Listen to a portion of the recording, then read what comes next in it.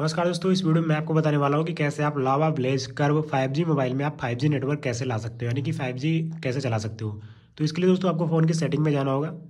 Setting में आने के बाद यहाँ पर ऑप्शन मिलेगा आपको मोबाइल नेटवर्क, इस पर जाना है। इस पर जाने के बाद यहाँ पर ऑप्शन मिल रहा है एडवांस एडवांस पे जाएँगे और यहाँ पर ऑप्शन मिल जाएगा प्रिपेयर नेटवर्क टाइप, इस पर क्लिक करना है। अब यहाँ से आपका अगर फोर पे सिलेक्ट है तो आपको क्या करना है, इस पर क्लिक करके फाइव को सिलेक्ट कर लेना है। इतना करने के बाद अगर आपका जियो का सिम है तो माई जियो ऐप में जाना है और अगर आपका एयरटेल का सिम है तो एयरटेल थैंक्स ऐप में जाना है और वहाँ पर फाइव को एक्टिवेट करना है। यानी कि फाइव को एक्टिवेट कर लेना है अपने सिम पे। उसके बाद अपने फ़ोन पर चले आना है और यहाँ पर एरोप्लेन मोड लगा करके आपको एक बार ऑन कर देना है। और जैसे ही ऑन करेंगे, अगर आपके एरिया में फाइव नेटवर्क होगा तो वहाँ पर आपको फोर की जगह फाइव देखने को मिल जाएगा। तो इस तरीके से आप फाइव नेटवर्क को ला सकते हैं।